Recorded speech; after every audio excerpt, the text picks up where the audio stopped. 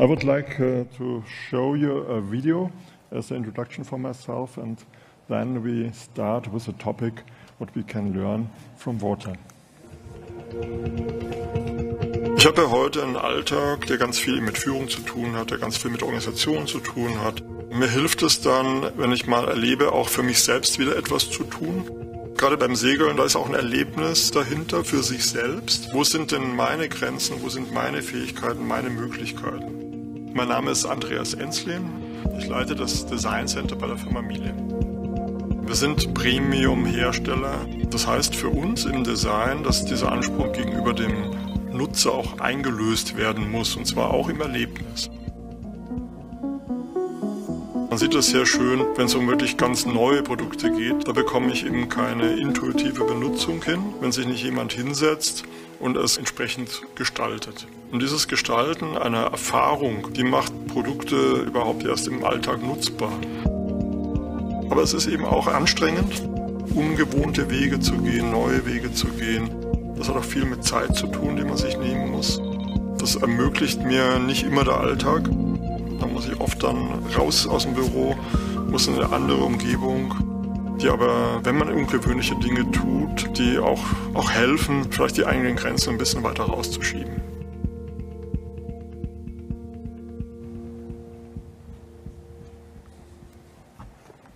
Yeah, my name is Andreas Enslin. I'm director uh, of the Miele Design Center. And uh, my connection to water uh, is that I, even as a child, uh, the water fascinated me. And uh, my first model ships uh, were made of waterproof painted cardboards from my father's shirt packaging. I did many experiments in the bath tube, in fountains, lakes with model ships, with unusual drives, hulls uh, that could follow the nature of water better and better, the more I understood the soul of water. For me, water as a source of inspiration leads me to the introduction of two unusual landscape architects. Welcome on stage Anuradha Mathur who is an architect and landscape uh, landscape architect, who is professor in the Department of Landscape Architecture uh, at the School of Design, University of Pennsylvania in Philadelphia. Welcome on stage. Thank you. And uh, along with Dilip da Cunha, welcome, an architect and planner who is co-director of the Risk and Resilience Program at the Graduate School of Design, Harvard University, uh, and adjunct professor at the GSAPP, Columbia University. Welcome, Dilip. Thank you. Yeah, yeah, you're both you authors of uh, some books like Mississippi Floods mm -hmm. from 2001. Uh, your Deccan Traverses, The Making of Bangalore as Terrain, 2006 and Soak Mumbai in an estuary in 2009. You're co-authors of Design in the Terrain of Waters. Um, I know, Radha Dilip, you are preparing an exhibition uh, entry right now, Ocean of Rain. This is part of the exhibition Critical Zones in Karlsruhe at the ZKM. And in Germany, I think next year in October, um, this shows in how a critical zone uh, in this planet now is. And uh, yeah, I think we have to understand much more about uh, nature and the division. What we did, we have um, some uh, discussions before uh, in our in our mind, in our brain, between uh, water and land, and it's it's very um, artificial what we are doing. So we are, uh, as humans, yeah, we should not divide ourselves from nature, but we do it. Uh, we, we make limits. We, we are drawing lines. We are dividing things because it's easier to handle. And this is your topic, so I hand over uh, this to your presentation, and uh, I'm, I'm very excited about to hear what you have to say. Please, the stage is yours. Thank you. Oh. Take that. Thank you, Andreas, for that uh, introduction. And I also wanted to thank Paul for actually inviting us to Amsterdam to talk about water. Uh, I must say that it took us a little bit of mustering up our courage to come to the Netherlands and to talk about water. So it was a provocation, but it was also a wonderful opportunity. Uh, what we will be doing today is that we will go back and forth, but I think there are roughly two parts to our presentation. In the first, we want to kind of establish a point of view. And I would say maybe it's another paradigm of thinking about water. And it may, may seem a little dry, you know, talking of watery language, uh, but I think it's quite important to sort of take a point of departure of why we are actually posing uh, this question between the difference between water and wetness. Uh, and in the second part, we will share with you some of the places and a glimpse of some of the projects that we have done in the past and we are involved in right now that actually really highlight why it's so important in the current milieu to start actually challenging our perceptions of water. And we are, we are interested in that because as designers, we feel that we have made an enemy of water even when we profess to be its friend. We separate it from land, we confine it to flows between riverbanks, to canals between edges, to pipes within sleeves. We incarcerate it in seas with, coastlines, in lakes with edges, and reservoirs behind dams. We keep it out by designing increasingly impervious skin of buildings. So even when we design what we call nature-based interventions, we impose limits on it. We keep water to a place. But water erases boundaries in floods. It consumes coastlines with sea level rise, and in its confinement, it smells, froths, sickens, and kills with pollution. Water, it seems, wants to be free. Or perhaps water wants to be appreciated in its own terms as wetness. So we ask, what is the difference between water and wetness? Water is somewhere, whereas wetness is everywhere. It is in the air, it's in soil, it's in flora and fauna. It's right here. You kind of grab your hands, and wetness is here. The sea is very wet, and the desert is less so. In fact, there is no such thing as dryness. You know, when you think about, uh, I mean, you know, that there is an apple would be about 86% wet, a cucumber maybe 96, and a prickly pear is 95. But we never think of calling them water bodies. And so, in some ways, wetness is, aware, is everywhere in terms of its own gradients. It may be less or it may be more, but you can never be in a situation without wetness. Water drains off the land, gathering in designated places such as lakes and seas. Wetness, on the other hand, does not drain off the land. It soaks, seeps, blows, osmotes, and in short, it transpires in ways that are ever extending holdings of wetness. So it exceeds itself. So, you know, when we, what we see sometimes as flowing could be just wetness, you know, just reaching a point where it sort of flows beyond. In short, water flows, but wetness holds. Water is also the other in a land centric world. It is placed to be in the service of land to drain it, to power it, transport it, and provide it with waterfronts for real estate development. Wetness, on the other hand, is prior to this land water binary. Okay, so what I want to do is actually just give you a sense of what the different, uh, what, what these different paradigms really are. Wetness and water, we say, are two paradigms. And in order to make the case for it, we want to use two rivers, at least what is familiar to us as two rivers, what is taught to us as kids as two rivers. One is the Nile, which is, of course, the quintessential um, river of the ancients, and the other is the Mississippi, which, uh, which I would say is a kind of classic model, an exemplar of the moderns. But using these two examples, I want to suggest that there is an alternative that we don't see. And because we as designers, but even as, I guess, regular human beings, have been so educated to see these as rivers. So let us just look at one at a time.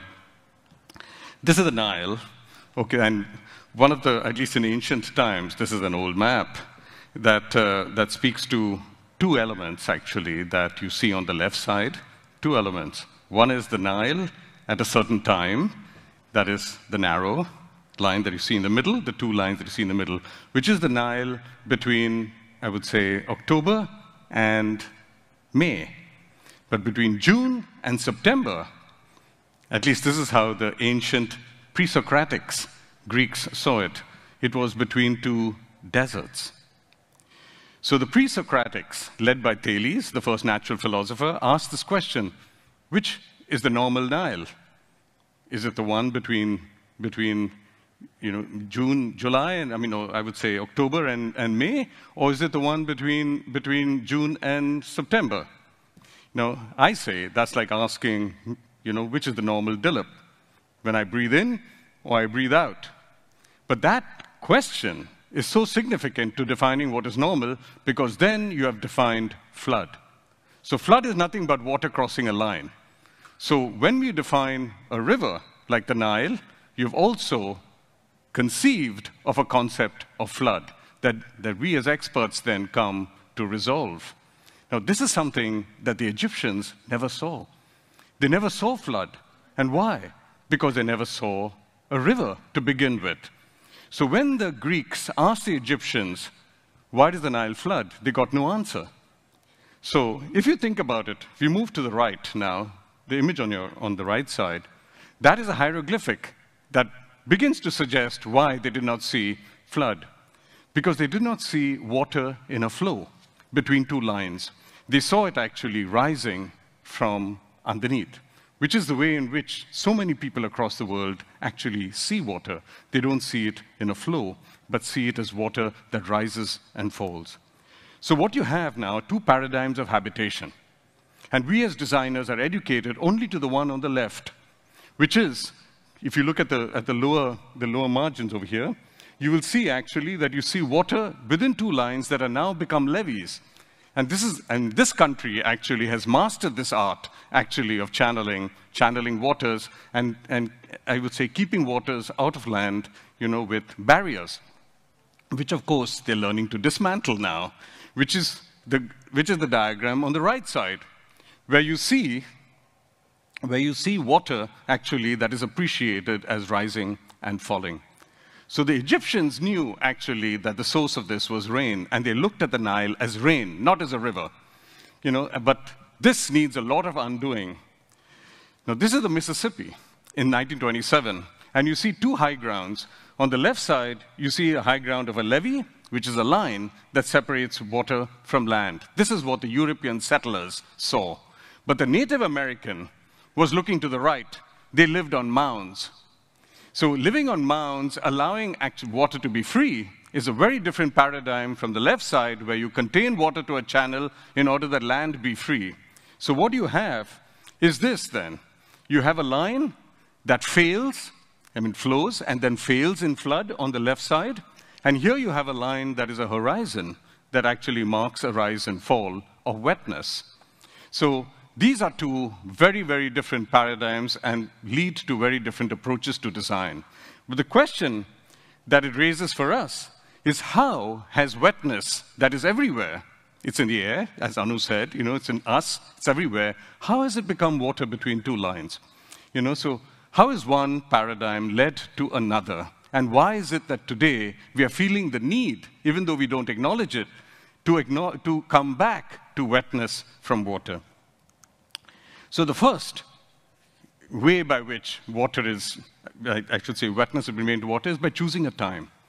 So the way in which you look at time is through the hydrologic cycle. Now, just to quickly remind you what you probably all studied in school, you know, that water circulates. And to give you a better drawing, actually, we look at Paul Klee. This is Paul Klee's drawing, actually, the Bauhaus, um, of the water cycle. And it's remarkably simple, but it is also how every child learns how to draw the water cycle. So number one is precipitation, two is flow, flow formation, three is evaporation, and four is cloud formation. So that's the way water is, water is appreciated as, as circulating. What we want to suggest, actually, is that we have made one moment in this cycle into our time of reality. We inhabit this one moment. And in this moment, we draw a line to separate what is above from what is below, so we have a geographic surface. And then we divide land from water. I shouldn't say we divide land from water. We divide wetness and create land and water. So that act of creation is an act of design, which we all do and it is more than architects that do this. It's actually all of us on, on Earth, to some extent, are trained to do this. It's a particular design literacy. So what you have now is land that is not water and water that is not land. And that is why we are distancing ourselves from the term water, because it comes with a binary structure. So this is where we appreciate wetness as a prior condition that is not divided to begin with. So what we have in this moment, we've constructed maps. So we, you know, if you ask the question, why does a surveyor not go out when it's raining to draw maps? They wait for the rain to pass before they can actually go out. Why? Because they don't see a line between land and water when it's precipitating, when it's hurricaning, when it's, you know. So you wait for that in order to draw a map. So we wait for this moment. Then you look at Google Earth. We all work with Google Earth maps today, right? But this is not the map that they work with. They wait for the clouds to pass before they can actually draw the Earth or you know, map the Earth, which means that all our maps are actually moments in time that are gathered together. So there is a time that has been made static. And this temporality, actually, that is lost is something that is coming to haunt us today with sea level rise and climate change and things like that. And we want to come to that later. But just remember this, actually, what it means to construct space without time. So we have taken time away from our space basically. The second way by which wetness has been made water is by drawing a line. This drawing a line, now there are many lines that, we, that we're all familiar with as architects, you know, that we use, you know, we use lines for hashes, contours, alpha writing our alphabets. You know. I'm not talking about any of these lines. I'm talking about a very particular line, and that is this line. This line separates land from water. It separates land from sea on the left. It separates and constructs a river.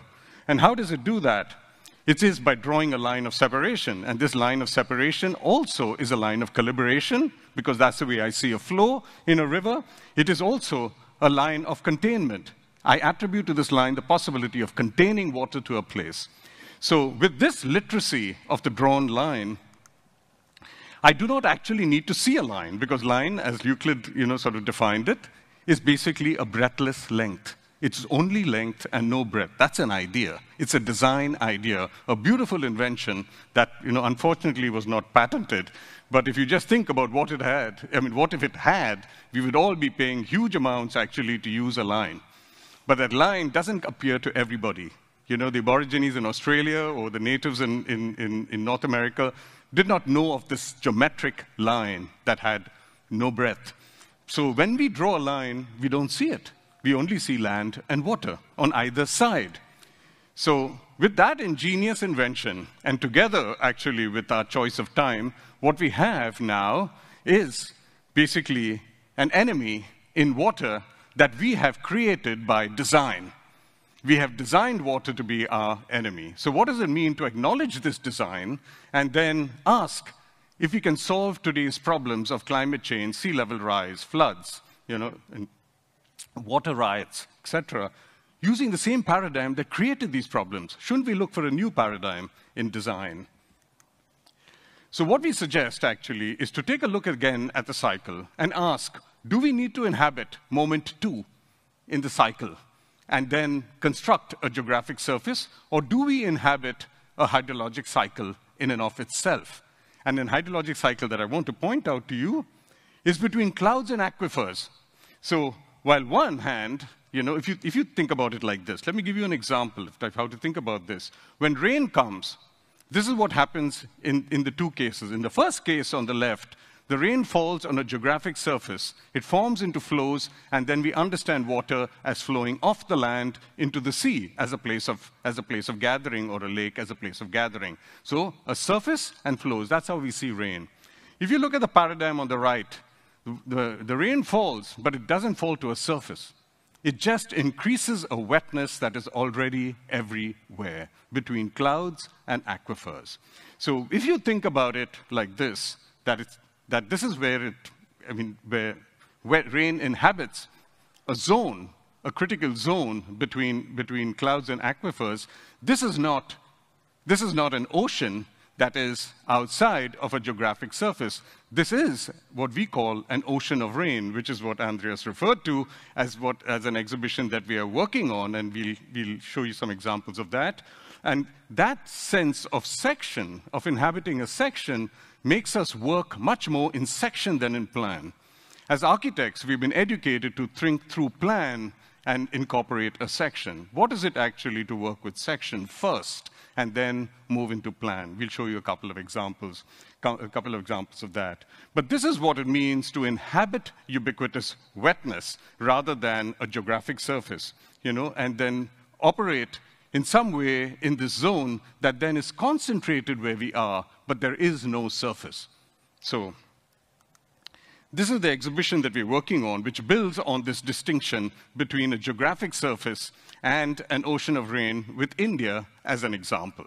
So we are so used to actually looking at India as a river landscape, you know, and looking at, I guess, the whole earth as a river landscape. Whereas what we are suggesting actually is to inhabit an ocean, an ocean of rain. So the exhibition is to give you some examples of how that exhibition. This is the middle, the middle one is a photographic experience that we have recorded in place. If you move to the left, it is that geographic surface where we are individuating objects. We all work with architecture, buildings, things. It's so interesting actually to see architecture played out over here. There's so much about building, you know, and so we assume actually the objectness of the world you know, so we work with rivers, we work with, I think we work inside, we work with outside, that sort of thing.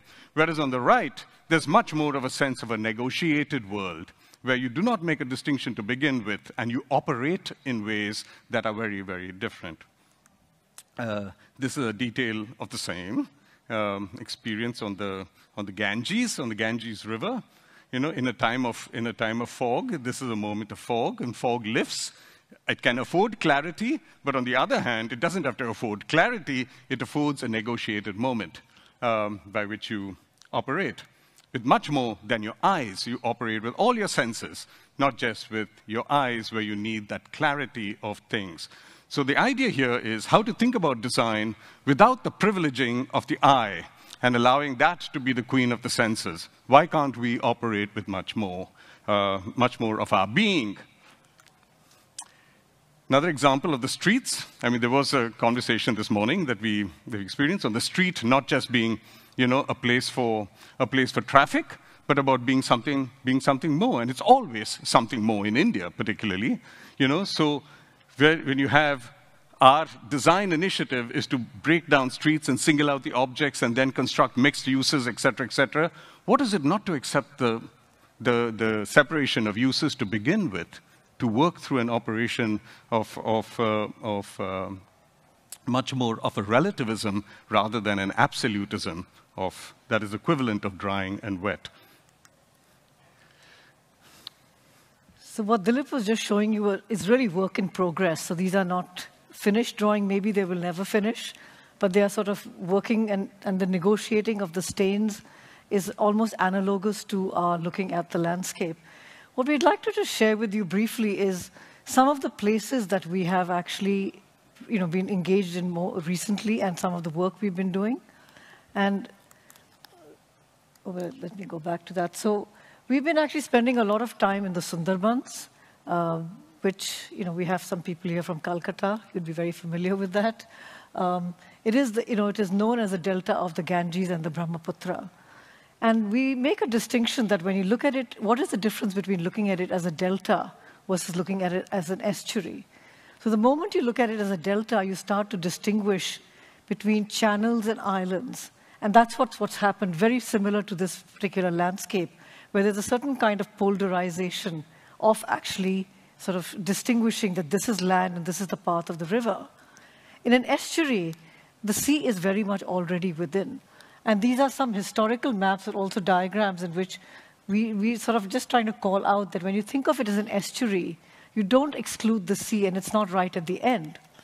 But the consequence we find as you travel through these landscapes is that these distinctions of the islands are not just made because of the maps, or let's say the maps precede the territory, if one had to say.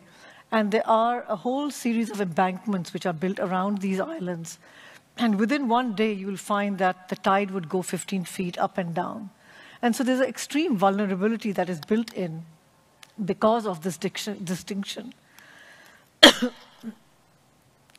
if you had to start thinking of it as an estuary, there is much more of a thinking about, as Dilip mentioned, that it's really about high ground and low ground, about tide and rain. It's a sectional understanding.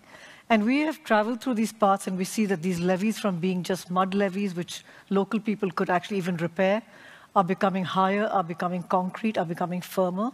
So there is a whole trajectory that in order to sort of fight some of these issues of climate change, of weather patterns changing, we have to actually polarize further. We have to actually make this firm. And in some ways, we think that we have to actually return to wetness, where we're looking at the mangroves, we're looking at the aquifers, we're looking at the clouds as part of the sectional world. And how do you actually start to make it much more open and live within it? On the other extreme, I think wetness actually has taken us to the desert. These are the deserts of northwest India, the Thar deserts of Rajasthan. And it's really a place of sand and scrub. And, you know, the government sees it as dry lands, that there is nothing here, that actually it, it is something which is without quality. And you'd still, you know, when you travel there, you'll find that there are a whole number of systems by which rain is actually held within this landscape and how people live. And they're very subtle, but they actually sort of make it a, what they call one of the liveliest deserts in the world. But when you start thinking that it's a place of nothing, this is what's happening today, that we are bringing in water in rivers or actually concretizing what are actually just seasonal sort of flash floods or seasonal flows. And we are going far and wide, like we're going all the way like 500 miles to bring water into the desert, to the point that we have people actually growing rice where there is, you know, uh, in a place which is sort of has less wetness, but is not something that can accommodate rice growing. So it opens up practices that become indulgent in a way that completely sort of destroys the kind of ecology and the subtle topography and subtle sort of nuances of the desert. So when we started to work and move into this area, we were much more fascinated about how rain actually had imprints in this landscape uh, and rain and the, and the, southeast monsoons, whether it is through the dunescapes, whether it's through a whole system of making salt, which relies completely on the monsoons, or it's certain practices of you know, certain fairs and people working in these washes, coming at the times when there is no water and when there is water. And it is a much more of a Maidan-like field. It's an open field that is not actually enclosed into entities where it's only one use or the other. So in the other one, there's either water there or there's no water. And here there are people who actually live in these washes, and there are a whole number of practices. And this is just a, you know, a glimpse of a proposal in which it is actually engaging a whole system of holdings in which the infrastructure is not about managing the river, but it's as much to do with the sewage, it's as much to do with rain, to do with places for craftspeople, a place for um, sort of allowing some of these temporary fairs to actually come and go. We wanted to just touch on a project uh, or work that we began in Mumbai, which was almost a decade ago. And I think the first time we ever spoke at, I think, the World Architecture Festival many years ago, this was just hot off the, the you know, hot off the table. But we have been quite involved here, and we find that what's been remarkable is that a place like Bombay has more and more, and it's even in its marketing, in its image, sort of thinks of itself as the island city. And when you call yourself the island city, what you're really doing is that you're separating land, the island, from the sea. And even the, you know, the beautiful map on the left, which is a you know, uh, 1900s map, has a lot of detail in the cadastral sort of information, but the sea has very little to say. So the plan view tended to sort of erase the sea out and only focus on land. And when we started to work on this project, we started to think of it in section. And these are some of the early beginnings of a certain sectional world where we felt the section was really more a negotiation between tide and rain. And so we really sort of think about the first the image on the left as Bombay as an island, and on the right as Mumbai in an estuary. Because estuary is a place, even though you think there is no water inside Bombay, the estuary is always within. And every time it rains, the estuary actually appears. And I think very recently, New York Times had these whole series of maps for many cities in the world, and Mumbai was one of them, of what would happen in 2050. And we find it was really nothing more than the estuary claiming itself. And of course, when we began you know, working on this project, we were very concerned because there had been some major, you know, now of course there's almost a flood every year that it rains. And the question to us was how did something that was actually a gift become actually such a big problem? That today Bombay seemed to be a dangerous place in flood. And it's really this sort of image of black, what you see there, where even topography is raised. It's not only the literal cut and fill that has happened in Mumbai, but it's really the image that it's all about land and land values and land, uh, you know, it's, it's, it's real estate.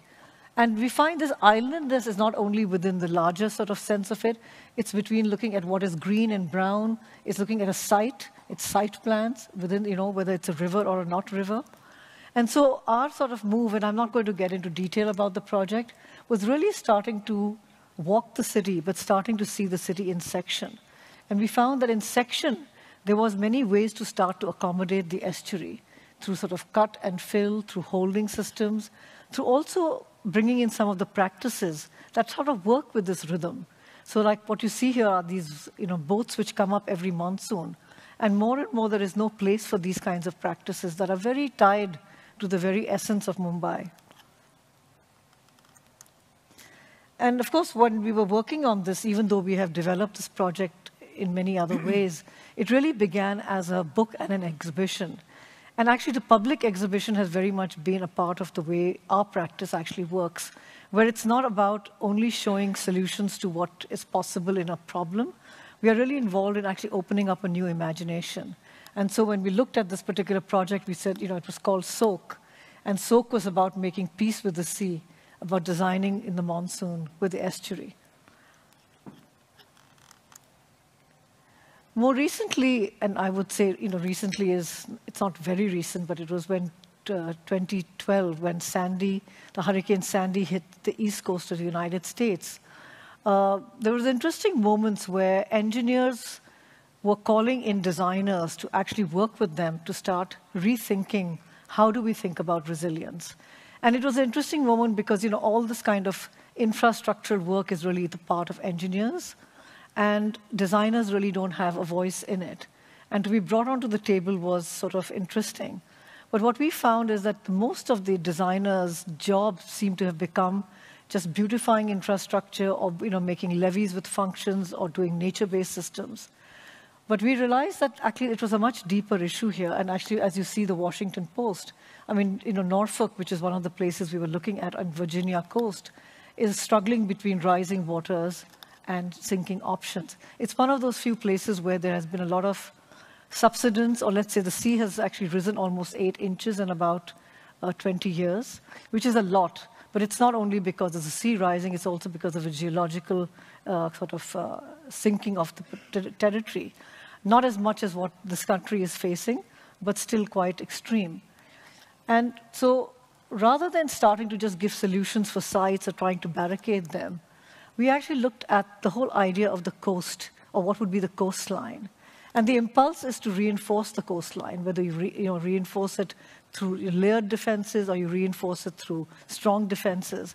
And when you actually look at the coast of Virginia, you realize that there is so much movement that goes across. There are, you know, there's fish, there's boats, there are creatures, there are all kinds of movements across. And so what would it actually be to not look at it as a line this direction, but to start think of it, thinking of it as gradients in the other. And so we, again, sort of this whole idea of starting to think in section, the coastline is a very, it's not a line, it's a coast, but it's a very different entity. And sort of beginning from there, where would it actually take us to even defining a project on a particular site? So for us, actually reframing the question, reframing the imagination was as important as giving actually a design solution. Um, and, what, and when we looked around, as designers and as landscape architects and architects, we found that actually the whole Chesapeake or the east coast of America is actually working with this kind of fractured nature. And we actually coined the term fingers of high ground at that time. So these are things which could be designed, but it is also found in nature in a sense that the whole coastline you know, breaks up into creeks and into rills. And, but there are also sort of many found conditions, whether they're geological, there are highways being raised all the time, which are actually high ground, there are ridges themselves, and there are all kinds of sort of uh, sites which can be made elevated because of their conditions. And so we started to look at this whole array of territories, and just as a diagram, you know, what the, you know, what, a, what the axonometric is showing is that there are two gradients in operation here, one from the sea to the land and one from land to sea. And how can we actually start thinking of design in time? Time of a project being implemented, but even time of what uses sort of start working in what territories. Uh, and just to play out an idea, just very quickly, this is actually you're seeing the environments of a place called Norfolk, which is very strategic in the United States. It has the Army, the Air Force, and the Navy actually situated right here. So it's of great importance to the United States. But one sort of scenario is on the top, which is, okay, you can keep building levees, even complex levees, levees within levees, and you start building a closed system. And what would it be if you started to actually think about it as a series of fingers which built on some of the existing high grounds, you know, which are very subtle. Today they would go under uh, highways and other places. Um, and, and, and also to start thinking of a project that grows incrementally. I won't get into much details because I know we're going to be running out of time very quickly. But this is a particular coal pier, which is sort of also a post-industrial site, which is in transformation. And we sort of try to demonstrate how an idea which is starting from a reframing of the coast could actually play out. And the project has many parts to it, which actually goes not along the coast, but goes into the interior.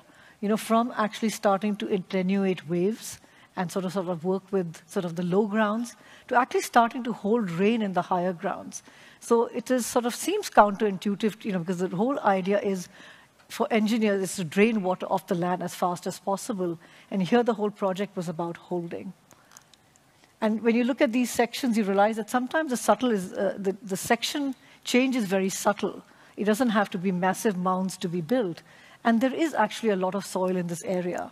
Um, and this is another project, which is, we, I won't go into the details, but this is a place where there is a sort of a housing, but this is a major highway which is being changed because it's 50 years old and has to be rebuilt.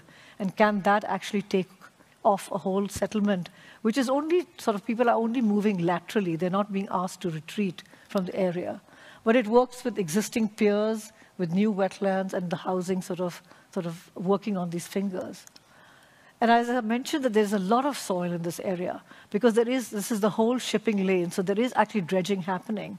So how can a sort of a material sensibility, and so in terms of quality and quantity, you have every type of material you can find.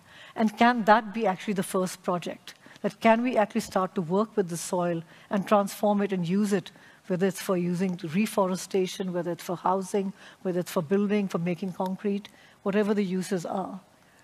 And ultimately, the project was really about actually rain and tide. Because in these areas, you'll find that even local people, when you talk to them, they are getting flooded not so much because of the sea is coming in, they are getting rained out. The rain is backing up. And so when we look at all the modeling, the sort of very sophisticated computer modelings which are happening, they are really dealing with modeling the ocean, the seas, and the rising seas. And we find there's very little possible also because it, the interior of cities are so complex, of very little of rain being modeled. And rather than saying, okay, we have to wait till rain is modeled, there is a lot of common sense as designers that we have to use. So our work is really working between starting to understand rain from very basic principles that that's what we have to deal with when we are actually starting to deal with sea level rise. So then we actually called our project Turning the Coast. And yeah, and we're turning a lot more than just a coast. I mean, you can see that. But uh, just want to end with one with one thought now that we, since we started with this kind of question, does water want to be free? Uh, I think we should go further than that. It's not about water wanting to be free alone, but it is the need for us all to inhabit ubiquitous wetness, and thereupon design a new paradigm. So we're calling on architects to begin to think of their role in the world today, because I think more than ever, they are needed, you know, for, this, for, for the kind of problems that we face today. We need a new imagination, and architects are uniquely equipped, actually, to, to deal with the possibilities of a new imagination. And so to call them to be leaders in our current crisis, actually, and we are seeing this, actually, where engineers are turning to, turning to architects, and we, we want to embrace that possibility and, um, and, um, and, uh, yeah, and, and, draw architects' attention to this, uh, to this great opportunity of not just continuing to design what we've always designed, you know, and uh, to, to think about what it might mean, uh, what it might mean to inhabit wetness and reconstitute the very disciplines that uh, our society is sort of built upon and encouraged to, to divide. Thank you. Mm -hmm. Yeah, very great. Thank you. Uh, we should take yeah. a couple of minutes yeah, yeah. Uh, to have a discussion about what you have uh, shown. Please take a seat. Mm -hmm. I think for the for the audience, it's uh, interesting to see your fantastic work here, and uh, behind uh, all this is a, a difference in thinking. You mentioned it several times uh, this division between wetness and water. It's a, a, a, kind of thinking. It's a design topic, at least. And um, when when I see your presentation, uh, it comes to my mind. What does it mean for the future? So when when we see we have this uh, CO2 problem, we have the climate change, mm. um, and we are here in the Netherlands. Yeah, so Netherlands is is mm. really uh, uh, affected by the, by this by the rise of the sea level mm. more and more. So we, we took, as humans, we took centuries uh, to divide uh, nature from humans, and I think now it takes centuries to bring this back, to merge this again, uh, especially when you are, as a landscape architect, when you are working. So you, you know it, it takes time when, nature um, uh, reacts on the things we are doing. And we as people, as humans, yeah, we as well need some time. So you mentioned uh, in your speech the Hurricane Sandy, mm -hmm. and this shows immediately the impact of, uh, yeah, it shows all the limits of humans. Mm -hmm. So what we did wouldn't work really mm -hmm. good. And now it is time to change something. Could you talk uh, a, a little bit about what you think, what we have to do, what is necessary now?